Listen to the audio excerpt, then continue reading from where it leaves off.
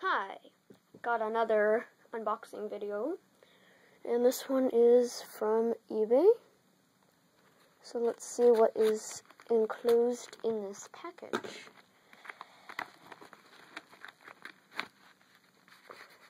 Okay, some paper.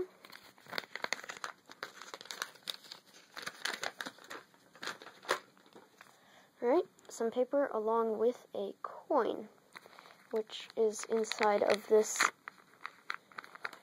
envelope. I'll just cut it.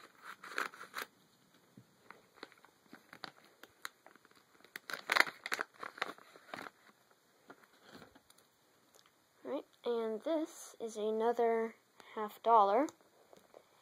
It is yet another Barber half dollar from the year 1908 with a D mint mark on the back, which you can see is underneath the eagle.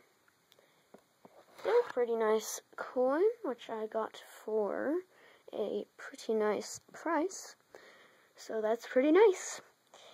Right, I hope you guys have a nice day, and goodbye. And yeah, bye.